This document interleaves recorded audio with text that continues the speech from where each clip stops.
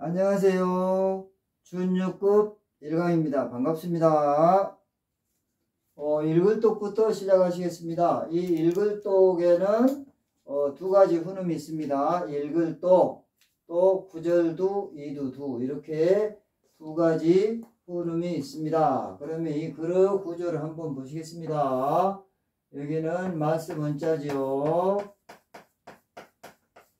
말씀은 말하다 그런 뜻이 되겠습니다. 여기는 행상하려 그런 뜻이 있습니다. 행상하려 행상한다는 이야기는 어, 길거리에서 소리내어 물건을 파는 것을 이야기하지요.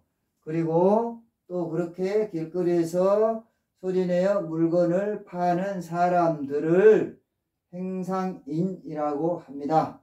그런데 이 사람들은 어, 리어커나 아니면은 봉고차 이런데 이런 거를 가지고 다니면서 길거리에서 소리 내어 물건을 파는 사람들입니다.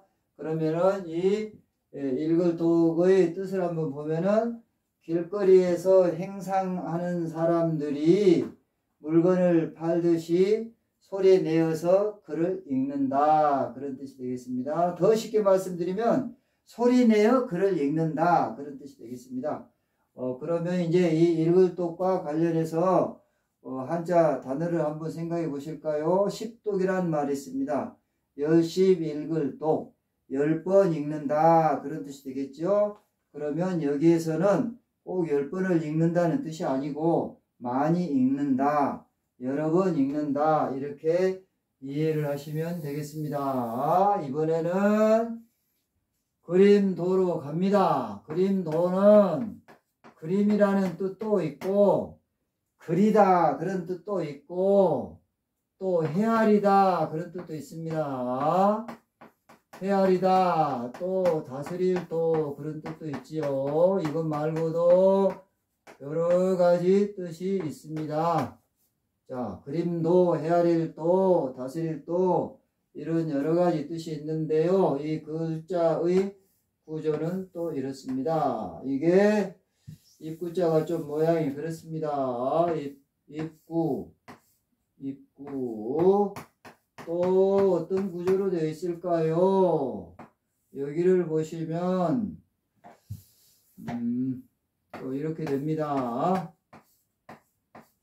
이거는 아낄 비자가 되겠습니다. 아낄 비. 이 아낄 비자는 곡식 창고의 모양을 본떠서 만든 글자라고 합니다. 곡식이라고 하면은 쌀도 되고 뭐 보리도 되고 여러 가지 곡식이 있겠죠. 곡식 창고 모양. 그리고 이, 이 입구자는 곡식 창고의 영역, 공간, 경계 그런 뜻입니다. 곡식 창고의 영역, 영역, 곡식 창고 영역, 경계, 공간 그런 뜻이 되겠습니다. 그러면 여기에서 또 이 아낄 비는 곡식 창고라고 했는데 물론 곡식 창고도 되지만 여기에서는 또 나라를 다스리는 데 필요한 여러 가지 나라의 재산을 이야기할 수도 있습니다. 나라를 다스리는 데 필요한 재산이 여러 가지가 있겠죠. 곡식도 있고 뭐 어, 돈도 있고 여러 가지 산, 땅, 뭐 여러 가지 재산이 있습니다. 그런 것들을 이야기하는데 여기에서는 이 도자는 꼭 그림만을 이야기하는 게 아니고 어떤 것을 생각한다. 어, 뭐 다스릴 방법을 생각할 수도 있고 여러 가지 뜻이 있어요. 그런데 여기에서는 이 도자는 어, 나라를 다스리는 방법, 또 가게를 꾸리는 방법, 또 회사를 경영할 방법, 생각, 기술 이런 것들이 포함된다고 생각하시면 되겠습니다. 그러면 이제 이 에, 그림도와 관련해서 또 한자 낱말을 한번 생각해 볼까요? 지도라는 낱말이 있습니다. 지도. 지도는 땅지, 그림도. 그러면 땅의 모양을 그려 놓은 것이 지도다. 이렇게 생각을 하시면 되겠습니다. 어느 정도 이해가 되나요? 이번에는 글서로 가시겠습니다. 글서는 또 어떤 내용이 있을까요? 글서, 글서, 글서가 되겠습니다. 글서, 또 글자서, 쓸서, 또 뭐 적을서 이런 여러 가지 뜻이 있겠죠. 많습니다. 뜻은 아주 많아요. 그러면 또 이 한자의 구조는 어떻게 되어 있을까요? 한번 보시겠습니다. 여기에는 어, 이런 구조로 되어 있습니다. 자, 이거요. 이거는 어, 분율입니다. 분율, 율이라고도 하고 또 율이라고도 합니다. 그 다음에는 또 어, 이자가 나오지요. 가로알 이렇게 이루어져 있습니다. 그런데 이 분율은 또 이런 구조로 되어 있습니다. 분율은 이렇게 해서 여기가 이런 한자가 있죠. 또 이런 한자가 있습니다. 그런데 이 한자는 어, 돼지머리 개라고 하는데 이 글자는 실제적으로는 뭐냐 그러면 어, 이런 자가 되겠습니다. 이 자는 오른손 우라는 글자예요. 오른손 우. 오른손 우. 오른손 우. 그런데 오른손 우는 또 어떤 뜻이 있을까요? 오른손 우는 다른 글자와 합해서 또 다른 한자를 만들 때는 잡는다 그런 뜻이 있습니다. 잡는다. 그러면 또 여기 이 글자는 뭘까요? 이 한자는 어, 무성할 봉, 또 우거질 봉 그런 뜻이 있습니다. 무성할 봉, 무성할 봉 또는 우거질 봉. 우거진다. 뭐가 우거진다는 말입니까? 무성할 봉, 우거질 봉. 쉽게 이야기하면 여기에서는 분율자이기 때문에 이 분율자는 쓴다는 뜻이 있죠. 글을 쓴다. 글씨로 쓴다. 그런 뜻이 있어요. 분율. 우거질 봉, 무성할 봉은 여기서 이제 붓이기 때문에 털이 붓끝에 많이 있다. 그런 뜻이 되겠죠. 그래서 붓끝으로 쓴다. 뭐를 쓰냐? 붓으로 여기 가로 알은 다시 말씀드리면 말하다 그런 뜻이 있어요. 그래서 어, 붓으로 말한 거를 썰어온 것이 글이다. 그런 뜻이 되겠습니다. 다시 한 번 말씀드립니다. 붓으로 말한 것을 써놓은 것이 글이다. 그런 뜻이 되겠습니다. 그러면 이 글서와 어, 관련돼서 또 한자 단어를 한 가지를 한번 생각해 볼까요? 어떤 뜻이 있을까요? 어떤 어, 의의가 있을까요? 독서라는 어, 의의가 있습니다. 여러분들 이 독서는 뭐 날마다 정말로 많이 드, 들으시는 그런 단어가 되지요. 독서는 글을 읽는다 그런 뜻입니다. 읽을 독, 글서 글을 읽는 것이 독서다 이렇게 생각하시면 틀림이 없겠습니다. 이번에는 이제 대신할 때를 보시겠습니다. 대신할 때 대신할 때를 보시면 되겠습니다. 대신할 때 또 어떤 뜻도 있을까요? 바꿀 때 이런 뜻도 있습니다. 대신할 때 바꿀 때 뭐를 대신한다는 이야기입니까? 자 여기를 보시면 앞에 있는 이자는 사람 인자입니다. 사람인 사람인이에요. 자, 또 여기에 있는 이 글자는 어, 말뚝일 말뚝익 말뚝익 주사릭이라고도 하는데 어, 주사릭이라고도 하는데 주살은 뭐냐? 여기서 이 주살은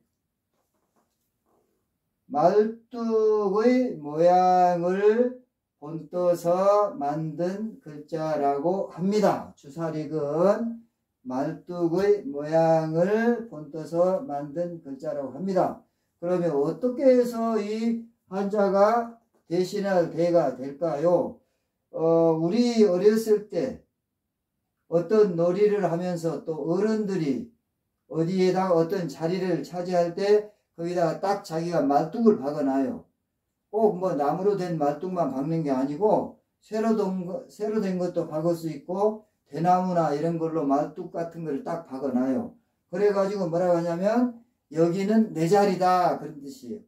다시 말씀드리면 이 말뚝이 사람을 대신한다. 여기는 내 자리니까 침범하지 마라. 그런 뜻이 되겠습니다.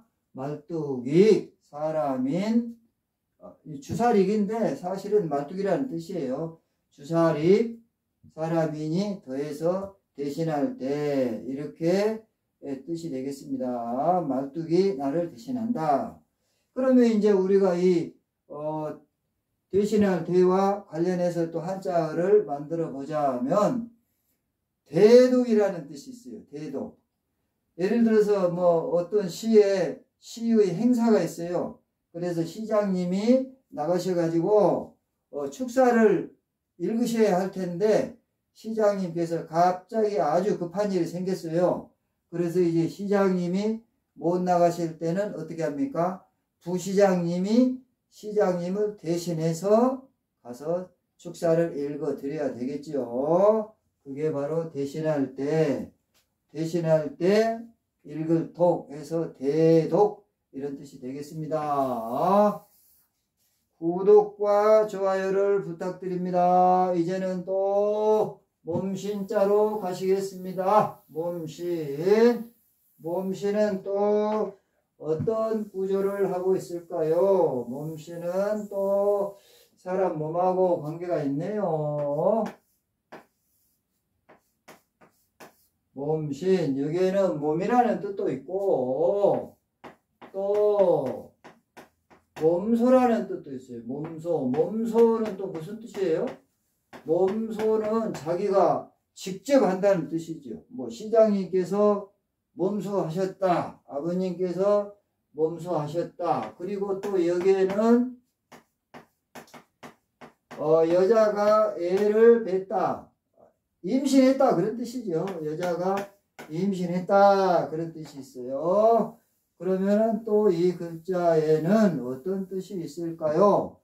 이 몸신자는 사람 몸의 모양을 본떠서 만든 글자라고 합니다.